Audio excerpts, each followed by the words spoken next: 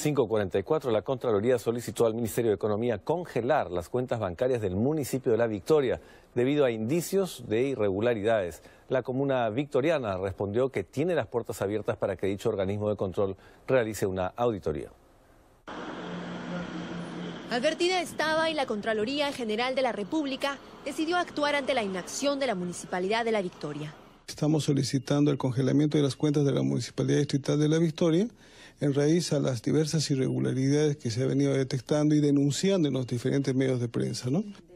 Y es que el órgano máximo de control de los bienes públicos ha detectado que el municipio de La Victoria viene generando ingresos de manera irregular, hechos dados a conocer a través de denuncias periodísticas. Sí hemos encontrado algunas inconsistencias que no cuadran los ingresos con lo que realmente se debería estar registrado como castación. Entonces esto ha ido sumando el día a día y nos ha llevado a tomar la decisión de cerrar las cuentas. ¿no? Pues ahora tenemos que hacer eh, los arqueos y los cruces correspondientes. Y si encontramos algunas irregularidades, debería terminar esto con eh, responsabilidades.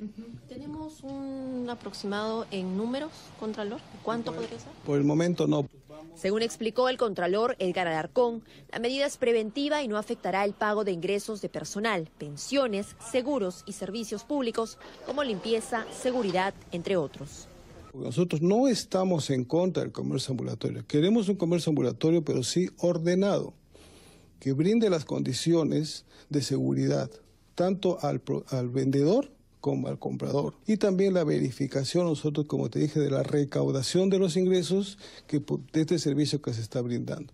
Y mientras no se levanten estas, estas, estos riesgos alertados, nosotros vamos a mantenernos con las cuentas cerradas. En un comunicado, la Municipalidad de La Victoria informó que ha despedido al gerente de Desarrollo Económico, Sandro Ramírez Escobedo.